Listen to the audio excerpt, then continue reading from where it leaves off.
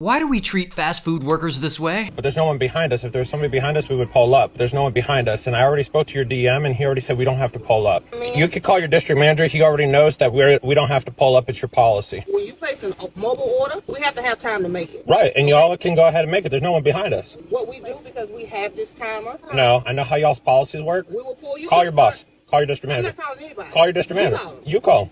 Pull to the front. No, ma'am. Call the police. It's up to you. Call the police on what? I will because you won't move out You, my you, You're gonna lose your job. I hope you know that. What kind of freaking dork calls the district manager? Your employee's telling me I need to pull forward, and I don't want to. But here's the worst part. Not only did this turd threaten someone's job, he then uploaded the video to the internet himself, thinking everyone was going to agree with him. He then had to delete his TikTok account when, surprise, surprise, no one agreed with him. But here's the best part of this epic Dunkin' Donuts saga. You really want to lose your job? Hey, do what you gotta do. If you think you can control me having a job, then you go ahead.